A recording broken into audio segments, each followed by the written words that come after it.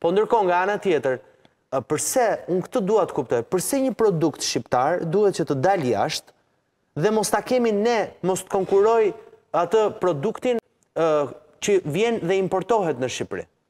Është kjo është skandaloze. Domethënë përse unë duhet që të marr të konkurojë portokalli jonë me portokallin e Italisë apo domatja jonë me domatet e vendeve të tjera? Domethënë Kjo nuk më bën shumë sens.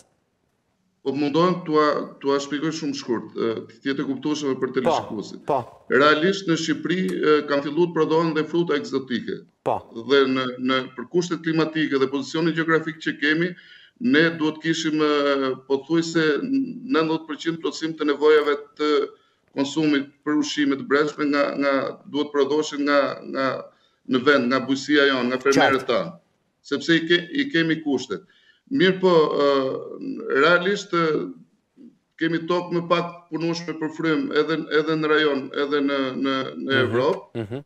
por konkurohemi nga, nga fermerët vendës që kanë kosto më të ulët prodhimi, sepse kanë ferma më të mëdha se tonat, Por ajo që është më kryesorja janë të subvencionuar.